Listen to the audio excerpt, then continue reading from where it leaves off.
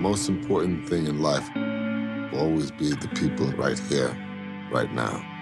That's what's real.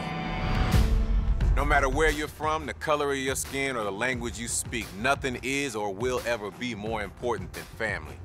And that is the one thing that has always separated the Fast franchise.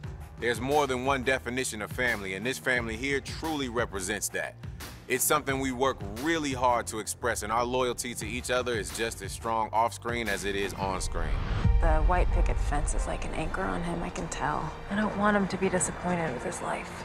Yeah, you're the best thing that ever happened to me. The importance of family is always there, and I think that's really important for the integrity of the franchise. The crazy thing is, is you miss the bullets. Everyone's looking for the thrill, but what's real, bro, is family.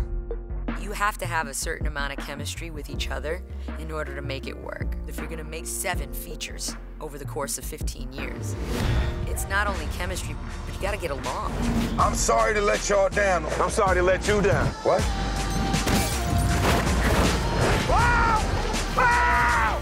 It's really cool that beyond action and cut, the people on this movie have really connected and bonded.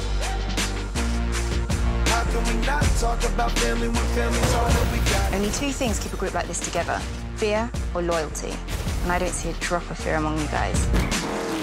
I think it's priceless having relationships on screen draw from relationships off screen. I'll come back for that. I think it's probably one of the most powerful aspects of the Fast and Furious saga. World that doesn't play by your rules. You and your friends are a part of it now. I don't have friends. I got family.